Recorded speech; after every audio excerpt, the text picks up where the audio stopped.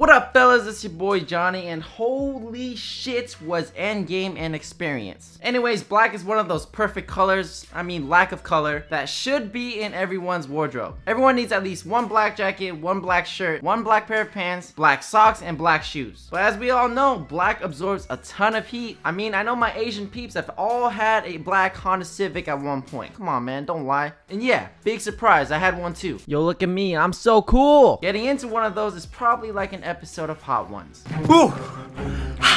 Everyone is saying, wear pastels for summer, wear this, wear that. No.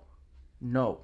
You wear what you want. I want to wear black, alright? So let's talk about how to wear black when it's so the first step is to deal with it. Yes, it absorbs heat, but like in the wintertime, I'd be wearing distressed pants, and there's nothing you can really do about it. As long as I'm looking fly, I don't really give a fuck. Well, same mindset for summer, just deal with it, bro. So yeah, speaking about what I said about the winter months, that's exactly what you want to be rocking this summer to stay cool. Richie Lead, I mean distressed clothes, particularly distressed denim, not the distressed shirts. Those were hot in 2016, don't be that guy. Anyways, a nice pair of black distressed denim adds some character to your outfits. You get the air vents from on your knees that'll help give you some breathability. And it is a pair of pants that can go with anything because of its absence of color. Personally, I like wearing black distressed denim with a white tee, fitted tee, or colored shirt that color blocks really nicely with my kicks. Simple. You got your pants, you just pick out a shirt, and then wear a color that complements your sneaker to that shirt or vice versa. And if you don't have distressed denim, there are DIYs out there on YouTube, or you can just cut the pants for some ankle breathability. The third tip to wear black in the summer is that you need to wear the right material, especially on top. Our core and our heads give off the most heat, so you're gonna want a piece that keeps you cool, not to mention absorbs the odor from your gross ass sweat. There's materials out there like linen and bamboo and all that. Yes, you still gotta deal with the heat, but you can handle it better if you have a piece with breathable material. I personally have never really liked linen, I don't know why, probably just me. But there are shirts out there that are essential for your wardrobe, that are made from breathable material. So I'd like to thank ESNTLS for sponsoring this video because their ESNTLS tee is honestly one of the best shirts I've ever worn. Bamboo does absorb odors, so you ain't out here smelling like a confined New York sports club gym full of teenagers.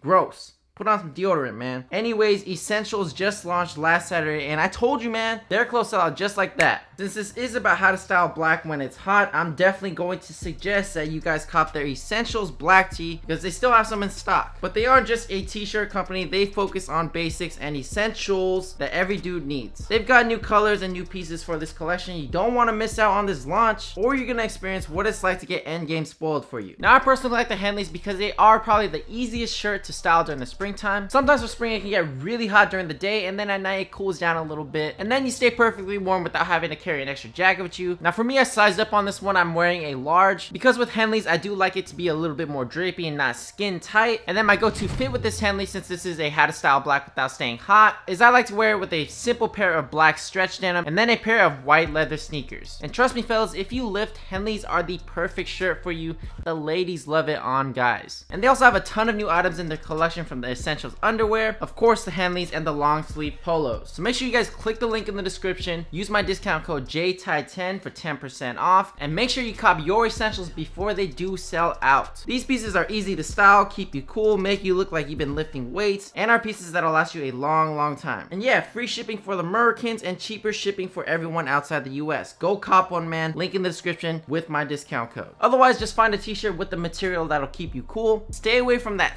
thick French terry cotton. Make sure it's a lightweight material or a material that repels odors. You're gonna sweat regardless. And last but not least, I definitely recommend avoiding the all black look. Now you can totally do it. This is just a recommendation. I've done it myself a lot, but boy, are you asking for an ass whooping?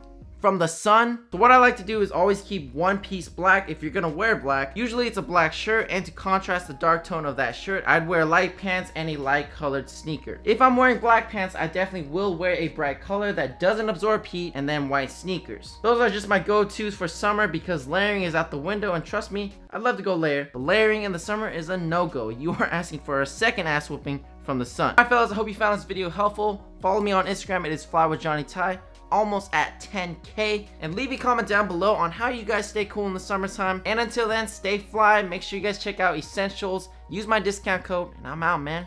Peace